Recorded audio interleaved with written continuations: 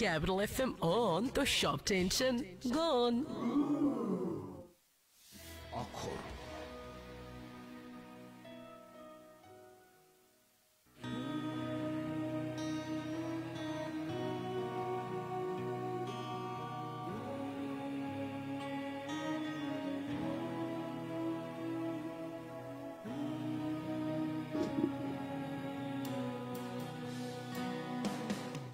আমন্ত্রণ ভাষার মাসের বিশেষ আয়োজন ও করে। শুনছেন আপনারা ninety four point eight capital F M দেশের নাম্বার ওয়ান মিউজিক স্টেশন প্রতিদিনের মতোই আর্জিত আমিনা, আমার অতিথিকে নিয়ে হাজির হয়ে গেছি। যারা আমাদের ফ্রিকোয়েন্সিতে শুনছেন, তাদেরকে ধন্যবাদ এবং যারা আজকের ফেসবুক লাইভটা জয়েন করেছেন, তাদেরকে আরও বেশি ধন্যবাদ। যারা ফেসবুকে যুক্ত আছেন, আমাদেরকে কমেন্ট করে আপনাদের মতামত জানাবেন। আমাদের যারা আজকের অতিথি আছে, তাদেরকে আপনার যে কোনো জিজ্ঞাসা, বই নিয়ে অবশ্যই, বই নিয়ে আপনার যে কোনো জিজ্ঞাসা লিখে ফেলবেন কমেন্ট বক্সে পাশাপাশি আমাদেরকে এসএমএস করবেন two six nine six nine এই নাম্বারটিতে অবশ্যই প্রথমে লিখতে ভুলবেন না সিএফএম স্পেস দিয়ে নাম আর লোকেশন অক্ষরের এবারে হচ্ছে ছয় নম্বর সিজনটি চলছে।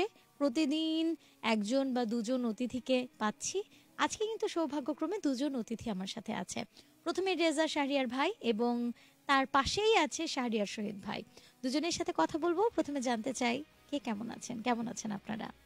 আছি ভালো আছি। আপনি ভালো আছেন আশা করি। আমি আলহামদুলিল্লাহ ভালো আছি। যদি আমার একটু গলা টলা বসে আছে বাট এগুলোকে আমরা গণ্যই করি না। ভালো আছি। মনের দিক থেকে খুব ভালো আছি প্রফুল্ল আছি।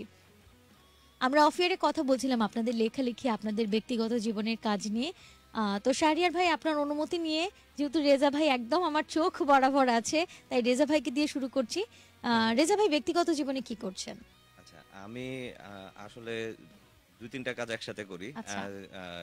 আমি আলোকচিত্রী but journal photo journalism journalist হিসেবে কাজ করি ইন্টারন্যাশনাল মিডিয়ার জন্য। আচ্ছা। আর film maker documentary film produce করি। সেখান থেকে আসলে আমি রিসার্চার হিসেবে কাজ করা শুরু অ্যান্ড এর জন্য আমি এখন লেখালেখির সাথে যুক্ত হচ্ছে আমি research paper and non fiction কাজ করি। সো মূলত আমার জায়গা হচ্ছে কাজ করা অর্থনীতি এবং পলিটিক্যাল সায়েন্স এই বিষয় নিয়ে এবং হিউম্যান রাইটস এই তিনটা বিষয় নিয়ে লেখালেখির সাথে যুক্ত আছি। বিভিন্ন জার্নালে বাইরে সাধারণত লেখালেখি হয় আর ফটোগ্রাফি এটাই আমার মূল পেশা। আচ্ছা আর লেখালেখিটা তাহলে কি নেশা? লেখালেখিও এখনও পেশা, নেশা থেকে শুরু বাট এখন এটা পেশাতেই চলে আসছে। যদিও প্রাইমারি পেশা আমার ফটো জার্নালিজম ছিল বাট সেখান থেকে আস্তে আস্তে, আসলে সব শিফট করতে থাকে তো। তো এখন কাজ করতে করতে, এখন লেখালেখি অনেক বেশি পরিমাণ করা হয়। জানালে আগে ছবি দিয়ে কাজ শুরু, কিন্তু তারপর ভিডিওর কাজ করতাম, এখন লেখালেখির কাজ আরও বেশি করা হচ্ছে। আচ্ছা আপনি বলছিলেন যে নন ফিকশন লিখেন আপনি। তো সেটা নিয়ে আবারও আপনার কাছে ফিরবো। তার আগে চলে যাচ্ছি আমার আরেকজন যিনি অতিথি আছে, তিনি একজন লেখক এবং সংগঠক শাহরিয়ার শহীদ ভাই। এবার আপনার ব্যক্তিগত জীবনে ব্যক্তিগত কর্মক্ষেত্র সেটা নিয়ে আগে জেনে তারপর ভাবছি কথা আগাবো। আমি শাহরিয়া শাহিদ, আমি চিকিৎসা প্রফেশনের সাথে জড়িত। এর পাশাপাশি আমার একটা সংগঠন আমি একটা ফাউন্ডার জাগ্রত নামে একটা সংগঠন। এই সংগঠন একটি অলাভজনক, অরাজনৈতিক একটা সংগঠন। এবং আমরা স্বেচ্ছাসেবী কাজের মাধ্যমেই আমরা সারা বাংলাদেশ ইয়তদেরকে নিয়ে কাজ করি। আমরা ইয়ত ডেভেলপ নিয়ে কাজ করি। আমরা এই জন্য সোশ্যাল ইনক্লুশন ক্যাটাগরিতে দু হাজার বিশ সালে বাংলাদেশের সবচেয়ে তরুণদের বড় একটা প্ল্যাটফর্ম ইয়াং বাংলা ও সিআরআই থেকে। আমরা জয় বাংলা ইয়ত অ্যাওয়ার্ডে আমরা টপ ফিফটির ভিতরে আমরা মনোনীত হই এবং আমরা ফাইনালিস্ট হই। আর এর পরবর্তীতে আমরা Sheikh Hasina youth volunteer award অর্জন করি দু হাজার বিশ সালে, যেটা ওয়াইসি কর্তৃক প্রণীত। আর এর বাইরেও আমরা বিভিন্ন রকমের কাজ করে থাকি, যেমন তরুণদের নিয়ে, অসহায়দের নিয়ে এবং উদ্যোক্তা তৈরি করার জন্য আমরা কাজ করে যাচ্ছি। যেহেতু আমি মেডিকেল প্রফেশনের সাথে জড়িত, এই প্রতি বছরই আমি ফ্রি হেলথ ক্যাম্প করি। বেশ কিছুদিন আগেও আমি একটু পটুয়াখালী বাউফলে একটা ফ্রি হেলথ ক্যাম্প আমার চাচা প্রয়াত বীরুত্তম গ্রুপ ক্যাপ্টেন শামসুল আলম, তার স্মরণে আমি এই হেলথ ক্যাম্পটা করি। আর এছাড়াও আমার মায়ের মৃত্যুবার্ষিকীও আমি প্রতি বছর আমি ফ্রি হেলথ ক্যাম্পটা আমার গ্রামের মানুষের জন্য করে থাকি। আর এর বাইরে আমাদের সংগঠন একটা বড় হলো ডোনার ব্যাংক বা ব্লাড ব্যাংক। তো আমরা সারা বাংলাদেশে যে রেয়ার যে ব্লাড গ্রুপিং যেটা থাকে, তাদের রক্ত সরবরাহ করে থাকি। এছাড়াও করোনার থেকে শুরু করে অক্সিজেন সিলিন্ডার থেকে, নানা যেগুলো আমাদের মানুষের জন্য খুবই জরুরি, সেই কাজগুলোই আমরা বেশি কাজ করি। ধন্যবাদ। ধন্যবাদ শাহরিয়ার ভাই আপনাকেও। জাগ্রত তারুণ্য আপনার একটি সংগঠন যে সংগঠনটির প্রতিষ্ঠাতা আপনি বলছিলেন কোন ভাবনা থেকে আসলে এই- সংগঠনটি আপনি শুরু করলেন? জাগ্রত তারুণ্য। আসলে এটা আমাদের শুরু হয় দু সালে। তো তখন আমার একটা কোচিং ছিল বরিশালে। তো যেহেতু আমাদের কোচিংয়ে ইন্টারমিডিয়েট স্টুডেন্টরাই ছিল তো দু হাজার সতেরো সালে চোদ্দই ফেব্রুয়ারিতে যেহেতু তারা উঠতি বসে তরুণ তারা বিভিন্নভাবেই এটা বলতেছিল যে ভাইয়া চোদ্দই ফেব্রুয়ারি আমরা কি করতে পারি? তখন আমাদের একটা থিঙ্কিং হলো। আসলে যে চোদ্দই ফেব্রুয়ারি শুধু যে ফুল নিয়ে ভালোবাসা মানুষদের নিয়ে ঘোরাঘুরি আসলে এই প্রেক্ষাপট থেকে আমরা দৃষ্টিভঙ্গি থেকে একটু ব্যতিক্রম করে আমরা বরিশাল শহরে যতগুলো বস্তি ছিল রাস্তায় পথশিশু ছিল তাদেরকে কালেক্ট করি। কালেক্ট করার পর আমাদের নিজেদের একটা ফান্ড আমরা ক্রিয়েট করি। ক্রিয়েট করার পর ওই দিনটে চোদ্দই ফেব্রুয়ারি দিনটা আমরা প্রায় দুইশোর মতো পথ শিশু আমরা কালেক্ট করি সারা বরিশাল থেকে। করার পর ওদেরকে আমরা পোশাক দেই এবং আমাদের যে বরিশালে যে কেন্দ্রীয় যে শিশু পার্ক ওদেরকে আমরা রাইডে ঘুরে ফুল দিনটা ওদের সাথে কাটায়। তো এইটা আমাদের স্থানীয় পত্রিকায় খুব পজিটিভভাবে দেখে এবং আমাদের স্থানীয় মানুষটা যখন হয়, এর পরবর্তী ওই স্টুডেন্টগুলোই আমরা সতেরো জন তখন ইসি মেম্বার থাকি। তার পরবর্তীতে আমরা নববর্ষটা পালন করি, আমরা, আমাদের নামটা হলো ব্যতিক্রমী ভালোবাসা দিবস চোদ্দই ফেব্রুয়ারি, আর আমরা নববর্ষে যেটা করি, ব্যতিক্রমী নববর্ষ। এইটা আমরা করি বৃদ্ধাশ্রমে, ফুল আমরা বিশ্ববিদ্যালয় মেডিকেল কলেজে স্টুডেন্ট আমরা যাই, ফুল দিনটা তাদের সাথে রান্না করে, তাদের সাথে একটু বিনোদন দেওয়ার জন্য তাদের জন্য থাকি, তাদের সাথে গান বাজনা করি। ফুল দিনটা কাটানোর পরে এর পরবর্তীতে আমরা একটা সংগঠনের রূপ নিই এবং এই সংগঠনের রূপ নেওয়ার পরেই দু হাজার বিশ সালে যেহেতু কোভিড সময় ছিল, তখন আমি আমার বাসায় ছিলাম। তখন আমাদের বিভিন্ন ইউনিট তৈরি হয় বরিশালে। প্রথম ইউনিট হয় পটুয়াখালীতে। তারপর এভাবে আমাদের বরিশাল বিভাগের ছয়টা জেলায় আমাদের ইউনিট ছড়িয়ে পড়ে। তার পরবর্তীতে আমাদের বিভিন্ন পাবলিক এবং বেসরকারি থেকে বাংলাদেশ এখন টোটাল আমাদের প্রায় ফোরটি সেভেন আমাদের ফোরটি সেভেনটি ইউনিট আছে। আর আমাদের এই ইউনিটগুলো আমরা করোনার সময় আমরা খুব ভালো অবদান রাখতে পারছি। যেহেতু আমরা মেডিকেল স্টুডেন্ট ছিলাম, আমরা নিজেরা হ্যান্ড স্যানিটাইজার দেই, আমরা টেলি মেডিসিন সেবা দেই অক্সিজেন সিলিন্ডার সেবা দেই। এই কাজের জন্য আমরা করোনার সময় প্যান্ডেমিক সময় খুব ভালো একটা অবদান রাখার জন্যই আমাদেরকে সোশ্যাল ইনক্লুশন ক্যাটাগরিতে আপনারা জানবেন যে সিআর এবং ইয়াং বাংলার ট্রাস্টি চেয়ারপারসন প্রধানমন্ত্রীর ছেলে জনাব সজীবদের জয় প্রধানমন্ত্রী উপদেষ্টা তিনি আমাদেরকে আসলে এই অ্যাওয়ার্ডটা ঘোষণা করেন ধন্যবাদ শাহরিয়ার ভাই দারুণ কাজ করছেন আপনারা এবং এভাবেই আরও এগিয়ে যান। জাগ্রত তারুণ্যর জন্য রইল শুভকামনা। আমার আমার যারা লিসনার আছে তাদের কাছ থেকে একটা প্রশ্ন আমি পেয়েছি এবং এই প্রশ্নটি আমার আজকে যে দুজন অতিথি আছে দুজনের কাছেই থাকবে। অনেক পাঠকই বলে যে বইয়ের নামের সাথে গল্পের কোনো মিল থাকে না। এক্ষেত্রে আসলে একজন লেখকের করণীয় কি? রেজা ভাই আপনি যদি প্রথম উত্তরটা আপনার মতামতটা দেন। আসলে দুইভাবেই হতে পারে। খুব ভালো বই বইয়ের নামের সাথে অনেক সময় মিল নাও থাকতে পারে, কিন্তু এক ধরনের হিন্ট থাকা উচিত। আপনি নাম থেকে বোঝা উচিত কি হতে পারে। হয়তোবা এক্স্যাক্টলি যদি বলে দেওয়া হয়, তাহলে সেটা আর ওই মিস্ট্রি থাকে না। যদি বইটা মিস্ট্রির কিছু হয় বা ওই ধরনের হয়। সো সেই সময় সেইটা আসলে হওয়া উচিত। একটা কোহেরেন্স থাকা অবশ্যই উচিত। কিন্তু আবার একটু কোহেরেন্সটা খুব ডিরেক্টলি নাও হতে পারে। এক্স্যাক্টলি হয়তো বা ওই নামটা যাতে ওইটাই বুঝে বুঝে ফেলা যায়, সেরকম নাম নাও হতে পারে। কিন্তু সাধারণত উচিত একটা বইয়ের টাইটেল সেই বইয়ের সাথে বিষয়বস্তুর সাথে এক ধরনের কোহেরেন্স অবশ্যই থাকা উচিত। না হলে এটা বিভ্রম হয়ে যায়। তো আমি আমার মত হচ্ছে, একটা কোহেরেন্স থাকা উচিত, কিন্তু হয়তোবা সেটা ডিরেক্ট নাও হইতে পারে। আচ্ছা। কাউসার আহমেদ, আশা করছি যে আপনি আপনার উত্তর পেয়েছেন। রেজা ভাই কিন্তু বলছে যে ভেতরের লেখার সাথে আসলে নামটার একটু কানেকশন যদি থাকে একটু হিন্স যদি পাওয়া যায় তাহলে কিন্তু ব্যাপারটা ভালো লাগে পড়তে আরাম পায় মনে হয় পাঠক। আহ, শাহরিয়ার ভাই একই প্রশ্ন আপনার কাছেও যে গল্পের বা যে কোনো বইয়ের সাথে বইয়ের ভেতরটার সাথে উপরের নামের মিল পাচ্ছে না আমাদের পাঠকরা। এক্ষেত্রে লেখক যারা আছে তাদের করণীয় কি? আসলে লেখকদের উচিত আমরা যে নামটা থাকে আপনারা দেখবেন যে কোনো মুভির যদি নাম থাকে তার থিমটা ওইভাবেই ভিতরে থাকতে হবে খুঁজতে হবে। তো পাঠকদের তারা নামের সামঞ্জস্য নিয়ে ভিতরে তার পড়াটা পড়ে। যেমন একটা গল্প যদি হয়, ভিতরে তার হয়তো বা চরিত্র থাকবে, অথবা সেই গল্পটার কেন কারণ, কেন লিখলো, সেইটা খোঁজার জন্যই পাঠকের একটা আগ্রহ তৈরি হবে। এই জন্য বইয়ের নামটা খুবই গুরুত্বপূর্ণ। এই জন্য যারা শুধু যে প্রস্তুত শিল্পীরা এখানে জড়িত চান না, প্রস্তুত শিল্পী তারা শুধু ডিজাইনটা তৈরি করে, কিন্তু এক্ষেত্রে লেখকেরই দরকার যে আসলে সে কি গল্প লিখবে, কি উপন্যাস লিখবে, তার চরিত্রটা কি ফুটিয়ে তুলতেছে, সেইটার উপরে ডিপেন্ড করে তার প্রস্তুতটা হওয়া উচিত। তো যাতে পাঠকের কাছে ইন্টারেস্ট থাকে যে হ্যাঁ এইটা এই রকমের বই হবে বা এটা একটা থ্রিলার টাইপের বই অথবা এটা একটা মোটিভেশনাল বই অথবা একটা কবিতার বই। এটা যাতে প্রস্তুত দেখেই একটা পাঠকের একটা আইডিয়া তৈরি হয়। এখন অনেকেই হয়তো বা প্রস্তুতটা এমনভাবে তৈরি করে, দেখা গেল ওটা কবিতার বই, কিন্তু ওইটা প্রস্তুতটা দেখে মনে হচ্ছে এটা হয়তো বা কোনো পাঠ্যপুস্তকের বই। আবার অনেকের ক্ষেত্রে দেখা যাচ্ছে আমরা মোটিভেশনাল বই বাট ওইটার ডিজাইনটা দেখা গেল হয়তো বা এটা কোনো প্রেমের উপন্যাস। এই রকমের মনে হচ্ছে। আসলে আমাদের এই জন্য পাঠকদের সচেতন হওয়া উচিত। আর এই জন্য লেখকদের আসলে গুরুত্বটা খুবই গুরুত্বপূর্ণ। কারণ তাদের প্রুফ রাইট থেকে শুরু করে পোস্টারটা যে লেখক সে শুধু প্রুফ রাইট করবে অথবা পাণ্ডুলিপিটা জমা দেবে তা না পোস্টারটার প্রতি তার খেয়াল রাখা উচিত, আমি মনে করি। ধন্যবাদ। আপনাকে। এবং আমার মনে হয় সেই সাথে কাউসান, আমি একটু যুক্ত করতে চাই, যারা সম্পাদনা করছে, যারা প্রকাশক আছে, তারাও যদি এই বিষয়গুলোতে একটু মনোযোগ দেয়, একটু মনোযোগী হয়, যে বইয়ের নামকরণ বইয়ের ভেতরের গল্প এবং প্রচ্ছদ সবকিছুর সাথে কতটা, কোন বিষয়টা কতটা সামঞ্জস্যপূর্ণ, একটু যদি প্রকাশকরা, সম্মানিত প্রকাশকরা যদি একটু নজর দেয়, আমার মনে হয় যে পাঠক হিসেবে আপনারা তখন আরও বেশি আরাম পাবেন। বইগুলো পড়ে, বইগুলো দেখে, বইগুলো ধরে। আরেকটা প্রশ্ন না করলেই নয়, দুজনের কাছেই, যেটা আমার যারা অতিথি হিসেবে আসছিল, আমি সবার কাছেই করছিলাম যে অনেক বই তো বইমেলায় আসে।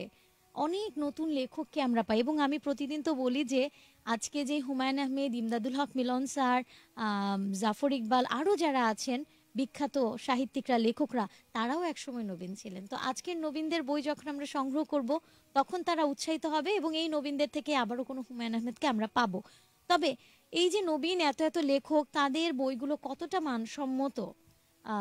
এবং আসলেই সেটা পাঠক কতটা একসেপ্ট করছে এই ব্যাপারে আপনাদের মতামত একটু জানতে চাচ্ছিলাম। প্রথমে রেজা ভাই আবার আপনার কাছে চলে আসি। এখন আসলে সবকিছুরই আসলে মার্কেট বড় হচ্ছে। হুমায়ুন আহমেদ ইমদাদুল হক স্যাররা ওনারা যখন লেখ মানে শুরু করেছিলেন তখন কিন্তু মার্কেট আসলে অনেক ছোট ছিল। অনেক নতুন লেখকও হবে আসছে কম পাঠকও কম ছিল। সে এখন আসলে পাঠকের পরিমাণও অনেক বেড়ে গিয়েছে। সেই অর্থে নতুন লেখক আসছে সেটা খুবই ভালো। কিন্তু আহ, একটা চিন্তা সবসময় মানুষের মাথায় আসে যে আসলে কি পরিমাণ কোয়ালিটি কতটুকু ভালো হচ্ছে। সেটা দুঃখজনকভাবে আসলে আশানুরূপ না। অনেক ভালো লেখক অবশ্যই কাজ বের করছে, অনেক ভালো ভালো কাজ হচ্ছে, কিন্তু তার সাথে অনেক বেশি বই তৈরি হওয়ার কারণে আসলে অনেক যখন কোয়ান্টিটি আসে তখন আসলে কিছু কোয়ালিটি স্যাক্রিফাইস হয়েই যায়। কিন্তু যেহেতু অনেক পাঠক আছে, এর জন্য আসলে অনেক বই বের হচ্ছে এবং সবার মান সবসময় ভালো ভালো হচ্ছে না। কিন্তু কিছু ছোট প্রকাশনী, নতুন তারাও শুরু করার জন্য তাদেরও আসলে ব্যবসা করতে হবে, সেই চিন্তা করে তারাও অনেক বই ছাপাচ্ছেন। এখন কাউকে তো আসলে বলা উচিত না কখনোই যে আপনারা লেখা বন্ধ করে দেন। নতুন লেখক যারা লিখতে পারছেন না বা ভালো লেখা হচ্ছে না, কিন্তু আসলে তাদের মোটিভেট করা যেতে পারে যে আপনাদের আসলে লেখার পরিমাণটাকে আরও বাড়াতে হবে। সেটা আসলে লিখতে লিখতে হবে। এটা প্র্যাকটিস করার ব্যাপার আছে তাদেরও একটু নতুন করে পড়ার ব্যাপার আছে। লেখক আসলে শুধু লেখে না তো লেখককে আসলে অনেক পড়তে হয়। এখানে একটু যুক্ত করে যে রেজা ভাই, আপনি যদি সাথে যুক্ত করেন যে যারা লেখালেখিতে আসতে চায় নবীনদের জন্য আপনার সাজেশনটা কি? কখন সে মনে করতে পারে যে হ্যাঁ আমার বইটা এবার ছাপানো যায়, আমার লেখাগুলো এবার একটা বই আকারে প্রকাশ করা যায় জি, এটা আসলে খুবই ভালো মানে ভালো বলেছেন। এই চিন্তার, এই প্রশ্নটা আসলে করা উচিত ছাপানোর আগে অবশ্যই।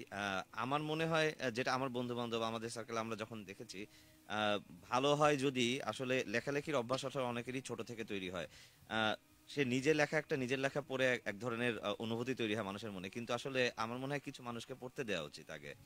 সো তাদের থেকে ফিডব্যাক নিয়ে বন্ধু বান্ধব এবং ঠিক আসলে বন্ধুর একটু বাইরে যাওয়া উচিত কারণ বন্ধু বান্ধব আত্মীয় স্বজন ভালোই বলবে জি, তার বাইরে যদি কিছু পড়তে দিয়ে তারা যদি দেখে সেখান থেকে তাদের ফিডব্যাক আসছে তখন তারা কিছুটা কনফিডেন্ট হয়ে যেতে পারে হ্যাঁ আচ্ছা আমি আসলে বই হয়তো বা ছাপানোর যোগ্যতা তৈরি হয়েছে আমার লেখাটা হয়তো বা সেইভাবে যেতে পারে। তা আমার ধারণা আসলে মানুষকে আর একটু পড়তে দেওয়া উচিত একটু বেটার রিডিং বলে আর কি বেটার রিডিং করতে দেওয়া উচিত। আসলে বন্ধু বান্ধব আত্মীয় স্বজন এবং তারপরে একটু বন্ধুর বাইরে দু চারজনকে যদি পড়তে দেয়া হয় এবং তাদের ফিডব্যাক যদি আসে এবং তখনই মনে হয়, আমার মনে- হয় তখন উচিত যে আসলে এখন যাই, আমি বইটা ছাপানোর প্রস্তুতি নিই। ধন্যবাদ রেজা ভাই আপনাকে। সেই সাথে এখন তো আসলে আমাদের অনেক মাধ্যম রয়েছে। ফেসবুকে দু চারটা স্ট্যাটাস লিখেই যদি কেউ ভাবে যে আমি একটা বই প্রকাশ করতে পারব, তাহলে কিন্তু হবে না। অনেক ব্লগিং করা যায়, অনেক ব্লগে আপনি লিখতে পারেন। সেখান থেকে যারা পাঠক আছে, তাদের মতামত নিয়ে, তাদের গ্রহণযোগ্যতা যখন আপনি পাবেন, তখন কিন্তু একটা প্রকাশের সাহস করে আপনি দেখতে পারেন। আর সেটার অ্যাকসেপ্টেন্স যদি থাকে, তাহলে তো একের পর এক দারুণ সব সৃষ্টি নতুন নতুন লেখকদের কাছ থেকে আসতেই পারে। চলে যাব আবারও শাহরিয়ার ভাই আপনার কাছে এবং একই প্রশ্ন রাখতে চাই যে আপনার মতামতটা এই বিষয়ে কি? আসলে নতুন বই নবীনরা যখন কবিতা বা বিভিন্ন উপন্যাস বা গল্পের বই লিখবে, আসলে বই লেখা এটা অনেকে শখের জন্য হতে পারে, অনেকে প্যাশন হতে পারে, অনেকে প্রফেশন হতে পারে। আসলে এখন যেটা দেখতে পাচ্ছি যে অনেকে যারা সেলিব্রিটি হচ্ছে বা খুব সোশ্যাল মিডিয়ায় ভাইরাল হচ্ছে, তাদেরও একটা ইচ্ছা জাগে যে হ্যাঁ আমার নামেও একটা বই তৈরি হবে। আসলে এইটা দেখে অনেক গুণী লেখকটা তারা মনে করে হ্যাঁ তাহলে বই লেখাটা খুবই সহজ। আসলে, আমার যদি একটা এক্সাম্পল দিই, আমার গত বছর একটা বই ছিল যে জিকে ভ্যাকসিন তো জিকে ভ্যাকসিন আমার বইটা ছিল জেনারেল নলেজে তো আমি জিকে হলো জেনারেল নলেজ আর ভ্যাকসিন নামটা দিছিলাম, যেমন ভ্যাকসিন যেমন একটা কোভিড সময় আমার বইটা তৈরি করা হয়। তো আমরা জানি যে কোভিডের জন্য আমরা কিন্তু অনেক কিছুই মেনেছি, যেমন লকডাউন শাটডাউন অনেক কিছুই যাওয়ার পর লাস্ট পর্যন্ত কিন্তু ভ্যাকসিনেশনই আমাদের আসতে হয়েছে। তো আমার মনে হয়েছে যে আমার এমন একটা ইউনিক নাম লাগবে, যেমন বাজারে অনেক নাম আছে জেনারেল নলেজের অনেক নাম আছে। তো সেই ক্ষেত্রে থেকে আমার জিকে ভ্যাকসিন মানে সাধারণ জ্ঞানের জন্য আমি একটা ভ্যাকসিন না মানে একটা প্রতিষেধক হিসাবে, আমরা বই একটা প্রতিষেধক হিসাবে কাজ করবে। আমরা বইটা পড়ব, আগ্রহ নিয়ে পড়ব। তো এই বইটা তৈরি করতে গিয়ে আমার অনেক বছর ধর, আমি পাঁচটা বছর ধরে আমি বিভিন্ন মেডিকেল অ্যাডমিশন স্টুডেন্ট পড়াতাম। তো ওইখান থেকে আমি একটা নলেজ গ্যাদার হয়েছে। আমার পাঁচ বছর সময় লাগছে। তারপরে আমি বিভিন্ন ছন্দ তৈরি করছি যাতে এটা পাঠকদের কাছে ইন্টারেস্টিং থাকে। যেমন আমাদের সাতজন বিশ্লিষ্টের নাম আমার মনে থাকে না, সেই জন্য আমি বিভিন্ন একটা ছন্দ দিলাম। আমার নয়টা, এগারোটা সেক্টর কমান্ডার বিভিন্ন মুক্তিযুদ্ধের ইতিহাস নিয়ে, বিভিন্ন তথ্য উপাদ্যগুলো আমাদের যাতে স্মৃতিমধুর হয়, সেই জন্য আমার কিছু ক্রিয়েটিভিটি তৈরি করা আমার নিজের থেকে। আর আমি একটা জিনিস দিব ইনফরমেশন অবশ্যই সেটা আমার ভ্যালিড থাকতে হবে। সেখানে আমার ইনফরমেশন থাকতে হবে। এটা আমি কি উইকিপিডিয়া থেকে নিয়েছি না ইন্টারনেট নাকি কোন বইয়ের রেফারেন্সটা আমার দিতে হবে? আর এই বইটা তৈরি করতে হলে বইয়ের একটা দরকার হলে আমি প্রথমে লিখব। তারপর হলো প্রুফ রাইট করা। এই প্রুফ রাইটটা হলো আমার দেখা গেল আমার মেডিকেলে অনেক জুনিয়র বিভিন্ন মেডিকেল কলেজে যেমন আমার ফ্রেন্ড ঢাকা মেডিকেল কলেজের দুইটা ফ্রেন্ড আমার হেল্প করছে, ঢাকা ইউনিভার্সিটির ফ্রেন্ড আমার বাকরিবি বিশ্ববিদ্যালয়, বাংলাদেশ কৃষি বিশ্ববিদ্যালয়। আমি একটা ফ্রেন্ডদের একটা টিম করি। টিম ওয়ার্ক করার পরে এখানে বিভিন্ন পাবলিক বিশ্ববিদ্যালয় মেডিকেল কলেজ স্টুডেন্টকে আমি ইনভলভ করছি। তারপর তাদের দিয়ে প্রুফ রাইট করার পরে আমি একটা বাজারে একটা বই দেওয়া হয়েছে। তো বইটা আসলে শুধু আমি লিখলাম সেটা আমি প্রকাশককে দিলাম, তারা ছাপা তৈরি করল। আসলে বইটা এইভাবে না, বইটা খুব গুরুত্বপূর্ণ। কারণ আমার একটা ভুল ইনফরমেশনের জন্য একটা পাঠক সে ভুল তথ্য জানতে পারে। আর তরুণ লেখকদের জন্য বলব যে হ্যাঁ বই তারা লেখুক, বই পড়ুক, এই জন্য বই লেখার আগে সবচেয়ে গুরুত্বপূর্ণ অনেক গুণী লেখকদের বই পড়া। যেমন হুমায়ুন আহমেদ স্যারের বই পড়তে হবে। আর তরুণ লেখক লেখকের ভিতরে আমি দেখি যারা আছে, খুব নাম করে এখন সাদাত হাসান আছে, কিঙ্কার হাসান আছে। তো বইগুলো যে চলতেছে না তা না, বইয়ের কিন্তু একটা ভালো মার্কেট রান হয়েছে। রকমারি ডট কম থেকে অনেক অনলাইন প্ল্যাটফর্মে বই ভালো এখন পড়তেছে এবং তরুণদের কাছেও বই প্রেমী সংখ্যাটা বাড়তেছে। ধন্যবাদ। ধন্যবাদ আপনাকেও। দারুণভাবে আপনি আপনার কথা জানালেন। আমরা চাচ্ছিলাম যে আমাদের যারা অতিথি আছে, আজকে দুজন, দুজনের কাছ থেকে কোনো একটা লেখা শোনার। মানে আপনাদের কোনো একটা কবিতা কিংবা কোনো গল্পের কিছুটা যদি আমাদেরকে শোনান আমাদের শ্রোতারা সেক্ষেত্রে আনন্দ পাবে এবং প্রতিদিনই আমার যে অতিথিরা আসে তাদের কাছে এই অনুরোধটা আমি করি। তো এক ফাঁকে যদি দুজন একটু প্রস্তুতি নিয়ে ফেলেন যদি সেলফোনে সেরকম কোনো ভান্ডার থাকে গুপ্ত ভান্ডার সেখান থেকে কিছু শুনব তার আগে আমি একটু আমার শ্রোতাদের কাছে চলে যাই জানিয়ে দেই আপনারা কিন্তু শুনছেন capital F M ninety four point eight এবং চলছে ভাষার মাসের বিশেষ আয়োজন। বাহ, চমৎকার। আমিও মনে মনে এমনটাই ভাবছিলাম, আজাদ, যে আমার যেহেতু এত ঠান্ডা লেগে গেছে, গলা বসে গেছে, ডাক্তার সাহেব আছে, ওনার কাছ থেকে পরামর্শ নেব। আমাকে, আমার লিসনার বলছে যে, ওনার কাছ থেকে আপু কোনো একটা টিপস নিয়ে একটু সুস্থ হন। ওকে ওকে আজাদ, ধন্যবাদ আপনাকে আপনার এস এম জন্য। আরও আছে আমাদের সাথে নাসরিন হাসান, উনি সালাম জানিয়েছে আমাদের অতিথিদেরকে। তানভীর, আরাফাত আর আরও জয়েন করেছে আমার সাথে কাউসার আহমেদ। কাউসার অনেক ধন্যবাদ আপনার প্রশ্নের জন্য। আপনার প্রশ্নটি কিন্তু আমি আমার যারা আজকের অতিথি আছে তাদের কাছে পৌঁছে দিয়েছি। এবার বলুন কার লেখা আগে শুনব আমরা? আসলে আমার স্বরচিত অনেকগুলো কবিতা রয়েছে কিন্তু একটা কবিতা মানে এটা মূল ভাবটা আমি যদি বুঝাই আহ, কবিতার আমার নামটা ছিল সবাই একা। আচ্ছা। তো কীভাবে সবাই একা সেই বিষয়টা আমি বুঝাচ্ছি। যেমন কবিতা হলো মনের কথা গোপন রেখো চরম উদাস কালে কষ্ট পেলে পাখনা মেলো কল্পনারই জালে। দুঃখগুলো উড়িয়ে দিও মেঘের মতো কালো। খুশির আকাশ সঙ্গে নিও তোমার হৃদয় ভালো। দ্বন্দ্ব চলুক মনের মাঝে কে বা আপন পর। এই দুনিয়ায় সবাই একা, বাঁচাও নিজের ঘর। আমরা দিন শেষে সবাই একা, সেই বিষয়টি আসলে বুঝাই তোলার জন্যই ছোট একটা তো কবিতা। এছাড়া আমার অনেকগুলো কবিতা আছে, বরিশালের আঞ্চলিক ভাষায় কবিতা আছে আমার। তো সেই রকমের যেমন একটা ছিল, কত রকমের ঝড়, বন্যা, আইলা, সিডর দেওই নদীর পাড়ের মানুষ মোরা ভয় পাই না কেউই। জ্বরের মধ্যে সাহস রাহে বরিশাল্লা পোলায় হ্যার পর মানসে মগো মনু কইয়া বলায়। ডাইলে লবণ দিছো কিনা চেতায় হেইয়া কইয়া, মনে কয় হেইগুলারে লড়াই পিছা লইয়া। ধন্যবাদ। ধন্যবাদ আপনাকেও। আজকে মনে হয় না সময় পাবো। সময় থাকলে এক্সকিউজ মি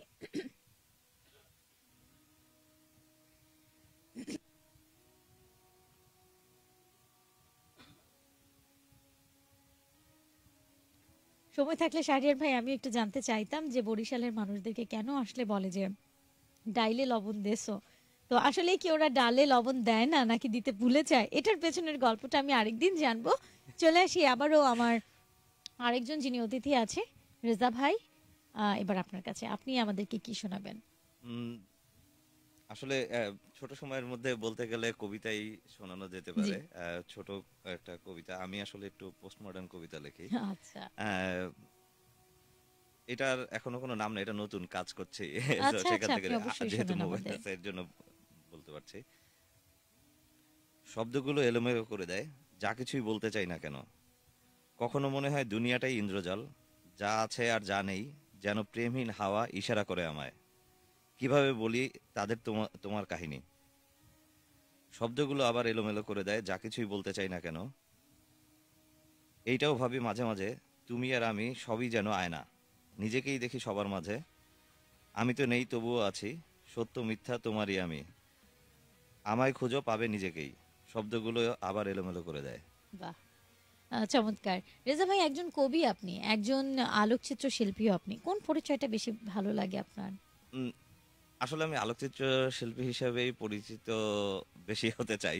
আচ্ছা। কারণ সেটাই প্যাশন থেকে শুরু করা কবিতা আসলে ওই আমার কবিতা লেখা শুরু হচ্ছে ছবিগুলাকে ব্যাক করার জন্য। যখন আমি ফটো জার্নালিজমের কাজ করি এখন কিন্তু পেশাগতভাবে কিন্তু নিজের প্যাশন থেকে শুরু যখন ছবি ছবির সাথে আমি আসলে ক্যাপশনের বদলে আমি কবিতা লেখা সেখান থেকে আমার আসলে কবিতা লেখার কাজটা শুরু। সেই সময়টা কি মনে পড়ে আপনার? যে সময়টা আসলে কখন ছিল? প্রথম কবে কোনো ছবিকে দেখে আপনি নিজের ভেতর থেকে কথা এসেছিল যেটাকে কবিতার মতো করে লিখেছেন? এক্স্যাক্টলি হয়তো মনে নেই কিন্তু ইউনিভার্সিটির শেষের দিকে আসলে সম্ভবত দুই হাজার নয় দশ সালের দিকে যখন ইউনিভার্সিটির শেষের দিকে আমাদের ইউনিভার্সিটিতে আমি হচ্ছে কম্পিউটার সায়েন্সে পড়াশোনা করেছি কিন্তু আসলে সেখান থেকে আলোকচিত্র হয়ে গেছি ইঞ্জিনিয়ার হিসেবে কাজ করা হয়নি। কিন্তু তখন হচ্ছে আমাদের একটা ফটোগ্রাফি ক্লাব ছিল আমাদের এক্সিবিশন হতো এবং তখন আমার কাছে আমি নিজের কিছু কাজ করেছিলাম দিয়েছিলাম। এবং তখন সেখানেই প্রথম সম্ভবত আমি ছবির সাথে ক্যাপশন হিসেবে কবিতা দিয়ে শুরু করেছি। সো নয় দশ সালের দিকে হবে সো অনেক দিন হয়ে গেল আসলে। আচ্ছা ধন্যবাদ আপনাকে। রেজা ভাই আরেকটা প্রশ্ন আপনার কাছে রেখে দেই তা হচ্ছে যে পাঠক হিসেবে বইমেলায় যেতে ভালো লাগে নাকি লেখক হিসেবে? আসলে পাঠক হিসেবে যেতে বেশি ভালো লাগে। লেখক হিসেবে যাওয়ার অভিজ্ঞতা আমার এখনও কম কেবল এক দু বছর। আহ, কিন্তু পাঠক হিসেবে এই কারণে ভালো লাগে যে আসলে অনেক সময় দেওয়া যায়। বই পড়া আসলে আগে আমার জায়গাটা হচ্ছে বই পড়ার নেশাটা আগে। তারপরে হচ্ছে কারণ লেখক হিসেবে গেলে একটা জায়গায় দাঁড়ায় থাকতে হয় হয়তো বা তার এটা একটা দায়িত্বের মতন। আহ, একটা প্রকাশনীতে এক জায়গায় বসে থাকতে হয় পাঠকদের সাথে কথা বলতে হয়। কিন্তু পাঠক হিসাবে গেলে আসলে অনেক বিচরণ করা যায়। বাঁধন হারা তো অনেক বই এক্সপ্লোর করা যায়। তো যখনও লেখক হিসেবে যেতে হয়েছিল সেটা ছাড়াও আমি এক দুই দিন হয়তো বা সেই দায়িত্ব পালন করে বাকি সময় পাঠক হিসেবেই ঘুরে ফিরে বেরিয়েছি আর কি। ধন্যবাদ আপনাকে। চলে আসি আবারও শাহরিয়ার ভাই আপনার কাছে। ব্যক্তিগত জীবনে লেখালেখি সম্পর্কে জানব বাট তার আগে আপনার কাছে সেম প্রশ্নটাই রাখছি যে লেখক না পাঠক কোন অবস্থানটা নিয়ে বইমেলায় যেতে ভালো লাগে? কোন ব্যক্তিত্বটা নিয়ে বইমেলায় আপনি স্বাচ্ছন্দ্য বোধ করেন? আসলে বইমেলায় সবসময় এক পাঠক হিসেবেই যাওয়া। লেখক হিসেবে যখন আপনার একটা বই প্রকাশিত হবে তখন আপনার জন্য একটা আনন্দ কাজ করে যে আপনার লেখা বই পাঠকরা কিনবে বা আপনার লেখা বই স্টলে থাকবে। সেটার জন্য একটা অনুভূতি কাজ করে। আসলে পাঠক হিসেবেই থাকাটা ভালো, কারণ যেহেতু আমরা নতুন লেখক, সেই হিসেবে আমাদের অনেক বই পড়া খুব গুরুত্বপূর্ণ। যেমন সেক্ষেত্রে আমরা হুমায়ুন আহমেদ স্যার, জাফর ইকবাল স্যার, এছাড়াও আমরা কিছু থ্রিলার টাইপের বইগুলো আমরা পড়ে থাকি। তো সেই হিসাবে পাঠকের অনুভূতিও একরকমের, আর লেখক হিসেবে যখন বইমেলাতে যেমন অমর একুশে বইমেলাটা এটা আমাদের প্রতি বছর পর একবার আসে, আর কোভিডের কারণে গত দুই বছর আমাদের বন্ধ ছিল, তো গত বছরটাও চেয়ে এই বছরটা বইমেলাটা খুব এখন জমজমাট, আর যেহেতু এখন বইয়ের মার্কেটটা খুব ভালো একটা অবস্থায়, সেক্ষেত্রে লেখক হিসেবেও একটা ভালো, নিজের কাছে আনন্দ মনে হয়। এবার শাহরিয়ার ভাই, আপনার কাছে জানতে চাই, আপনি লেখালেখি শুরুটা কবে করলেন? ব্যক্তিগত জীবনে একজন চিকিৎসক, একজন সংগঠক, এবং আপনার যে সংগঠনটি আছে, সেখানেও বেশ ভালোই সময় দিতে হয়, বুঝতে পারছি। তো এই সব কিছুর মাঝে লেখালেখিটা কবে থেকে শুরু করলেন আপনি? আমি লেখালেখি আমার অনেক ছোটবেলা থেকেই। মানে আমি হলো কোনো ব্যক্তিকে দেখলে আমি তাকে দেখে আমি ইনস্ট্যান্ট কবিতা লিখতে পারতাম। তো যখন আমি ক্লাস ফাইভে থাকি, তখন আমার বিভিন্ন একটা কবিতা, যেমন দেখা গেলাম দ্রব্যমূল্য, তখন, এখন যেমন দ্রব্যমূল্যের দামটা তখনও ছিল। তখন আমি একটা কবিতা লিখি যে ময়দা আটা যায় না কেনা, জলছে আগুন তেলে, মর্জি মেজাজ ঠিক থাকে না, করতে বাজার গেলে। পেটের দায়ে যাই বাজারে কিনতে কিছু চাল, দামের কথা শুনলে পরে মাথার ভিতর করে রে আউল বাউল। তাহলে এই রকমের বিষয়গুলো, এটা আমার বিভিন্ন ন্যাশনাল পত্রিকা এগুলো, আমার কবিতাগুলো যা সমকাল, প্রথম আলো, একটা কবিতার যে পাতা থাকে, ওইখানে শিক্ষার্থীদের যে কবিতার যে এইগুলো থাকে, ওখানে আমার কবিতাগুলো প্রকাশিত হয়। এর পরবর্তীতে আমি যখন মেডিকেল কলেজেও আসি, আমার সংগঠন ছিল বিভিন্ন, এছাড়া আমি সন্ধানীর সাথে জড়িত, সন্ধানী আমি অ্যাডভাইজার তো বিভিন্ন ম্যাগাজিন আমার কবিতাগুলো যেত। কিন্তু কখনো যে আমি লেখক হিসেবে আসলে বই বের করব ওই রকমের একটা ছিল না। যেহেতু আমার স্টুডেন্টদের প্রচণ্ড আসলে প্রেশারের কারণে যে স্যার একটা বই বের করেন, তো সেই ক্ষেত্রে আমার, গত বছরে আমার আসলে আমার লেখক হিসেবে আত্মপ্রকাশ করা। আচ্ছা গত বছর প্রথম লেখক হিসেবে নিজের নামটা যখন আপনার লেখা একটা বইয়ের উপর দেখলেন সেই আনন্দটা কেমন? নিঃসন্দেহে সেটা অন্যরকম এক ভালো লাগার অভিজ্ঞতা অনুভূতি সেটা কেমন ছিল? নিঃসন্দেহে ভালো। আর একটা ভালো বিষয় হলো আমার যে প্রথম যে ই ছিল মুদ্রণ ওই বইগুলো সমস্ত বইটা এখন শেষ হয়ে গেছে। আমি যে নতুন যে এডিশন নিয়ে আসব ওইটার জন্য আমি সময় দিতে পারতেছি না। তা আমার বইয়ের এখন এমন হয়েছে যে আমার যে ওই বইটা সাধারণ জ্ঞানের বইটা। ওই বইটা খুব গুরুত্বপূর্ণ যারা মানুষটা ছিল তাদেররাও পড়তেছে এবং তারা খুব ভালো একটা পজিটিভ রিভিউ দিছে। আর আমি প্রথম বছর যেটাকে বলে আসলে সেলার তো এই জন্য আমার যত বই ছিল খুব দ্রুত সময় শেষ হয়ে গেছে।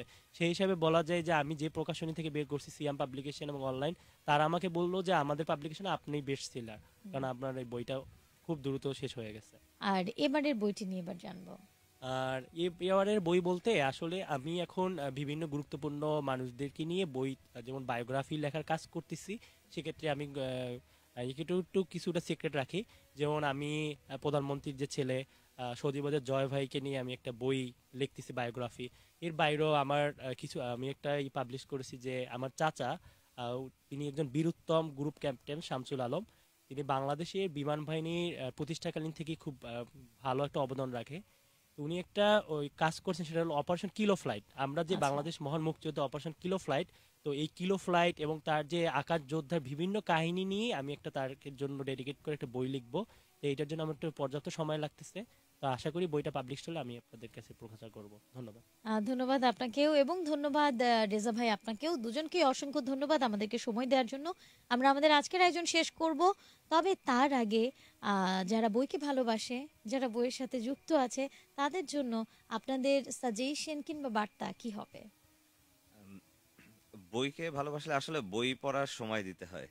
তো আমি বলব আরও বেশি করে বই পড়েন। একটু সময় এখন আসলে জীবন অনেক ব্যস্ত হয়ে গেছে সবার জন্যই। হ্যাকটিক জীবন অনেক কিছু করতে হয়।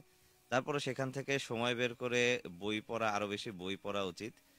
এবং বই কিনে পড়লে নতুন লেখকরাও মোটিভেটেড হবে। এবং আরও বেশি করে বই পড়েন। এটাই আসলে বলতে চাই। যদিও অনেক আমাদের ব্যস্ত জীবন, সেখান থেকে যদি কিছু সময় বের করেও আরও বেশি করে বই পড়েন সেটা আপনার নিজের জন্য ভালো, নতুন লেখকদের জন্যও ভালো। চলে যাব এবার শাহরিয়ার ভাই আপনার কাছে জ্যামের মধ্যে বই পড়ুন। রেজা ভাইয়ের সাথে সুর মিলিয়ে আমার কাছে এটাই আসলে আসছিল যে আমরা তো এখন এত ট্রাফিকে পড়তে হয় আমাদের জীবনটা এত ব্যস্ত তো জ্যামে যারা বিরক্ত হয়ে যান তারা অ্যাটলিস্ট বই পড়ে কিন্তু সময়টাকে রঙিন করে নিতে পারেন। শাহরিয়ার ভাই আমার যারা শ্রোতা আছে যারা বই প্রেমী যারা বইকে ভালোবাসে তাদের জন্য আপনার বক্তব্য কি হবে? আসলে বক্তব্য হলো আমরা বিশ্বের উন্নতশীল যে দেশে দেখি আমরা যেমন দেখি মেট্রো রেল। বাংলাদেশে মেট্রো রেলটা নতুন কিন্তু এই মেট্রো রেলটা বিদেশে উন্নত দেশে যতগুলো রেল স্টেশন থাকুক বা মেট্রো রেল হোক তারা বই প্রেমী আহ, আমরা জানি যে বুকার অ্যাওয়ার্ড দেওয়া হয় বইয়ের জন্য।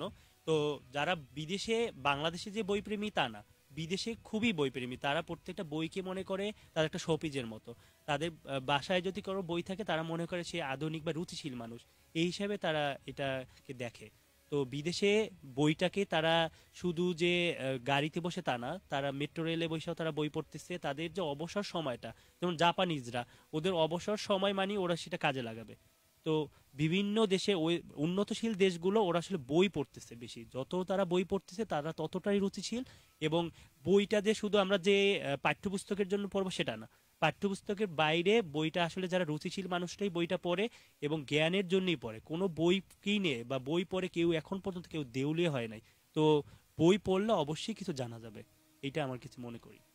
ধন্যবাদ শাহরিয়ার ভাই, আপনার সুন্দর কথাগুলোর জন্য। রেজা ভাই, আপনাকেও ধন্যবাদ জানাচ্ছি এবং ধন্যবাদ আমার শ্রোতাদেরকে যারা আমাদের সাথে আছেন। আমাদেরকে শুনছেন নাইনটি ফোর পয়েন্ট এইটে আর ফেসবুক লাইভে যারা জয়েন করেছেন, তাদেরকেও অসংখ্য ধন্যবাদ। আপাতত অক্ষরের এই আয়োজন থেকে বিদায় নেব। আমার অতিথিদের থেকে বিদায় চেয়ে নিয়েছি আগেই। আপনাদের কাছ থেকেও বিদায় নিয়েছি তবে আমার নিয়মিত যে আয়োজনটি রয়েছে, জানেন ভাবি, তা নিয়ে কিন্তু ফিরছি আবারও। সাথে থাকতে ভুলবেন না, আমন্ত্রণ রইল আমার আয়োজনে যুক্ত হওয়ার। শুনতে থাকুন ninety four point eight capital F M দেশের নাম